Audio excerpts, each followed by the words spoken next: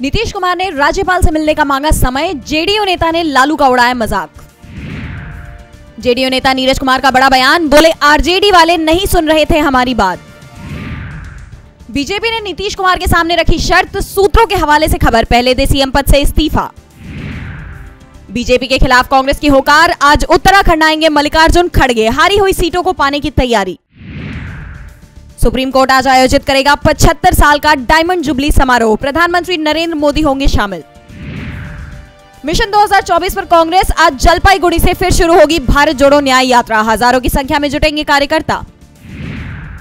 कालकाजी मंदिर में singer B प्राक के कार्यक्रम में भरभरा कर गिरा स्टेज। एक महिला की मौत, सत्रह घायल। आपका चुनावी शंखनाद। 28 जनवरी को सीएम केजरीवाल जींद में करेंगे रैली को संबोधित।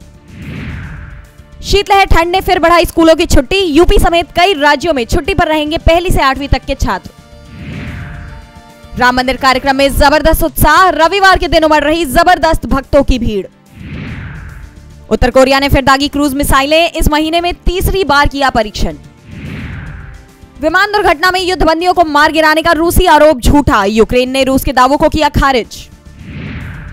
हूती आतंकियों ने ब्रिटिश तेल टैंकर पर दागी मिसाइल, आग लगने से मचा हड़कम मदद के लिए पहुँचा आईएनएस विशाखापट्टनम। पाकिस्तान ने उठाया कदम इस्लामाबाद में डेविस का मुकाबले के लिए भारतीय टीम को वीज़ा जारी किया। नेपाली विदेश मंत्री एनपी सौद का बयान, काला पानी और सुस्ता के अतिरिक्त भारत के साथ कोई सीमा विवाद नहीं। क्रिप्टो पर नई सरकार ही लेगी निर्णय, अंतरराष्ट्रीय कायदा कानून बनाने के लिए होगी विचार विमर्श।